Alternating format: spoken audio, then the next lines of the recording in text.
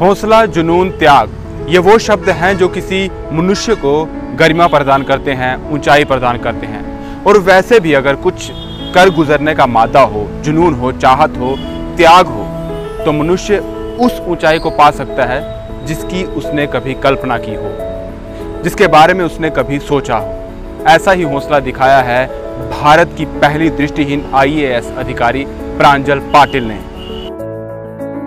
देश की पहली दृष्टि बाधित महिला आईएएस बनने वाली महाराष्ट्र की प्रांजल पाटिल चर्चा में है। 28 साल की प्रांजल का जन्म महाराष्ट्र के उल्लास नगर में हुआ। वो मात्र 6 साल की थी, जब खेल खेल में उनकी आँख में पेंसिल लग गई। यह हादसा इतना गंभीर था कि कुछ दिन बाद ही उनकी दोनों आँखों की रोशनी चली गई। अचानक अंधेरे में चली गई दुनिया से जूझना प्रांजल के लिए सबसे बड़ी चुनौती थी। प्रांजल के माता पिता ने कभी भी उनकी नेत्रहीनता को उनकी शिक्षा के बीच आड़े नहीं आने दिया। उन्होंने मुंबई के दादर में स्थित नेत्रहीनों के स्कूल में प्रांजल का दाखिला कराया। प्रांजल ने दसवीं और बारहवीं की परीक्षा भी बहुत अच्छे अंकों से उत्तीर्ण की और बारहवीं में चांदीबाई कॉलेज में कला संकाय में प्रथम स्थान प्राप्त किया।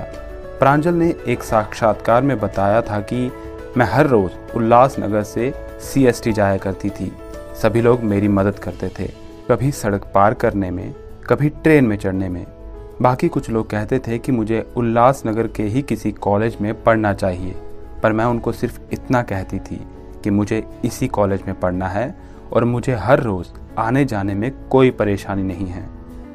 हालाँकि ये कहना है प्रांजल पाटिल का कि शुरुआती दौर में यूपीएससी के बारे में जब वो सोच रही थी तो किसी को कुछ बताया नहीं करती थी।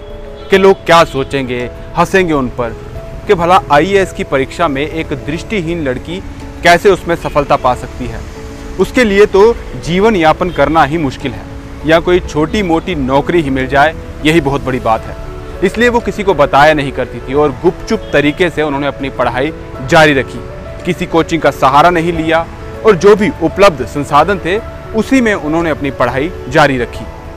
2016 में प्रांजल ने संघ लोक सेवा आयोग की परीक्षा में सात रैंक हासिल की।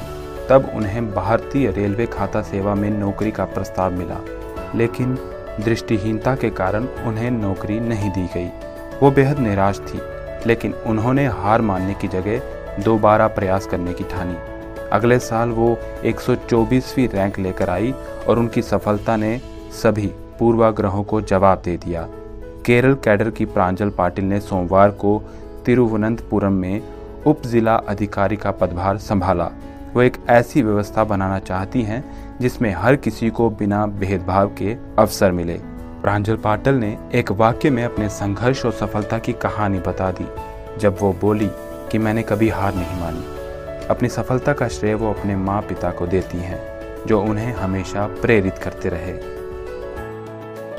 और इस तरह से वो फौलादी विचारों, फौलादी इरादों की मिसाल बन गई। ऐसे लोगों के लिए जो मुश्किलों को देखकर बहुत जल्द निराश हो जाते हैं या हिम्मत छोड़ देते हैं।